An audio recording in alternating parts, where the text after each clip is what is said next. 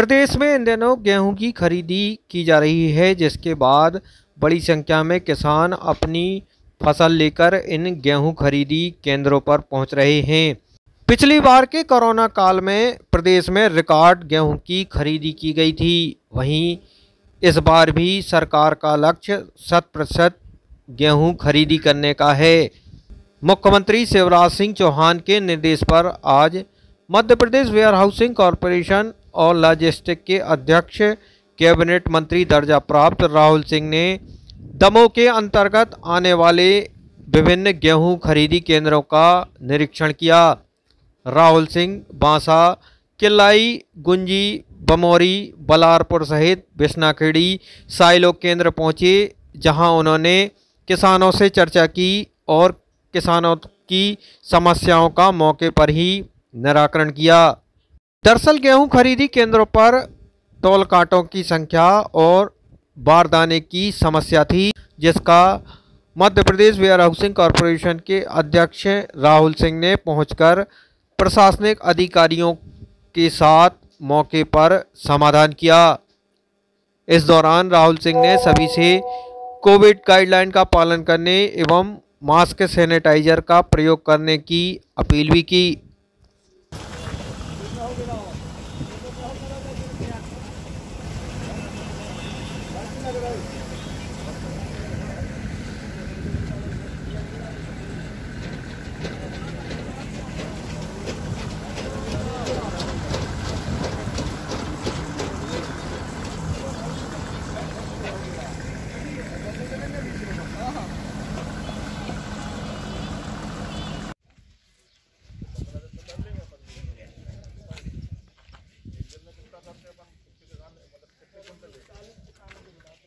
बागान की समस्या जा रही है तो सोलहवीं में बजारी बाद में चार सात तारीख को अभी सात तारीख का लेटर डाला कितना बात पंद्रह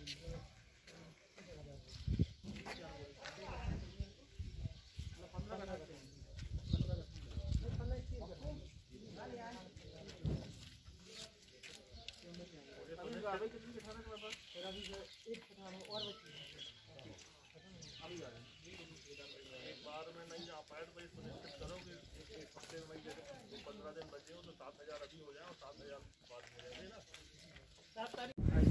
लगातार क्षेत्र में आए किसानों के बीच पहुँचे किस तरह की समस्या है क्या हल करने की में?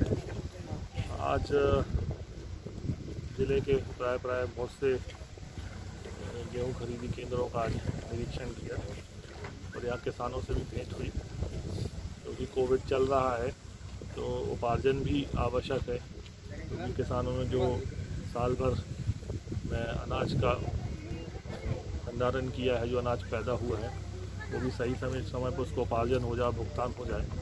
तो उसी को लेकर अभी पूरे में दौड़ा किया है। कहीं कहीं पर जो समस्याएँ हैं, उनको बात करके उसका निराकरण किया है। और हमारा प्रयास है कि 25 तारीख तक ज़िले में उपार्जन अच्छे तरीके से हो जाएगा। और जो भी छोटी मोटी समस्या आएँगी अधिकारियों से मिलकर उनको अपन उनका निराकरण करने का प्रयास अपन निरंतर कर रहे हैं। कहीं कहीं बोरे नहीं पहुँच पा रहे हैं बारदाना नहीं पहुँच पा रहे हैं। हाँ बिल्कुल। उसका कारण ये है कि कोविड एक विषय है। कोविड के कारण भी जो परिवहन है या जिनको लेके आना है कई बार वो लोग भी संक्रमित हो जाते हैं। तो मानवीय दृष्टिकोण पर अपन को ये भी समझना चाहिए कि इतनी बड़ी कोरोना के संकट में सरकार को भी साधुवाद देना चाहिए कि किस प्रकार उपार्जन हो रहा है। और ये निश्चित ही भारतीय जनता पार्टी, प्रदेश सरकार इसके लिए मैं उनको साधुवाद देता हूँ किसानों का भी ध्यान रखें और साथ में इस महामारी में स्वास्थ्य खुशखबरी खुशखबरी। अब आपके शहर दमोह में आर्थोपेडिक सर्जन, हड्डी जोड़ एवं स्पाइन रोग विशेषज्ञ, doctor Ravindra Chaurasia M B assistant professor Bundelkhand medical college Sagar, Madhya Pradesh. उपचार सुविधाएँ, सभी प्रकार के ऑपरेशन हड्डी एवं जोड़ के फ्रैक्चर, आधुनिक पद्धति से उपचार, गठियावाद, अर्थराइटिस, साइटिका एवं रीढ़ की हड्डी का उपचार, घुटना, कमर दर्द, हाथ पैर जकड़न एवं जन्मजात पैरों के टेढ़ेपन के उपचार के लिए हर रविवार को सुबह 10 बजे से शाम 6 बजे तक।